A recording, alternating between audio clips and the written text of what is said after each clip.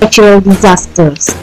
Natural disasters are extreme, sudden events caused by environmental factors that injure people and damage property. Earthquakes, windstorms, floods, and diseases all strike anywhere on earth, often without warning.